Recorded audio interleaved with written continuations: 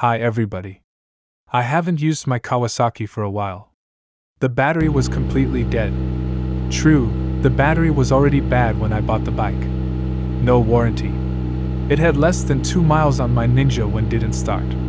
Of course I jumped the bike, and then it was fine. But it just died again and again every weekend. One weekend I had to jump it again to get it to start. But all the engine lights came up. I checked the code, I got 62. A few days later, I got 27 and 62. I can't believe all the codes are coming up because the battery is dying. I actually know there's nothing wrong with the Ninja because it's brand new. I called the dealer to clear the code. But they don't do that.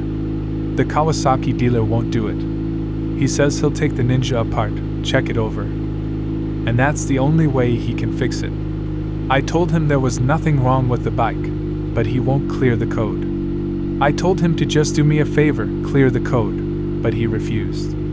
I guess he wanted to rip me off for a couple hundred bucks. Anyway, I bought a $25 code reader in the local shop. And in 5 minutes I cleared the codes myself. Code 62 and 27 disappeared, and the fault indicator lights turned off. The operation is very simple. There is a transparent plug under the seat on the clutch side. You plug the code reader into it, and when you're sure you've found the right code, you delete it.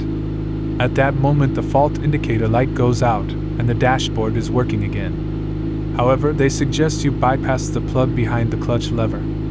I solved this with a paper clip, but you can buy a bypass plug for 15 to $20. It's possible that if you don't do this, all the existing blinking fault indicator lights will come up on the display, and then you can actually go to the dealer to get it fixed.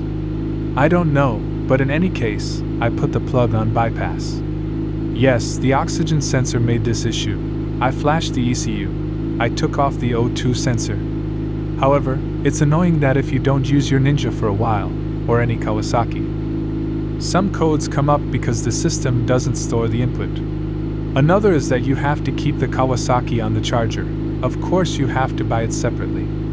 I made this video because I've seen a lot of people having similar problems. I left a description below the video, check it out if you are interested. Thank you for watching the video.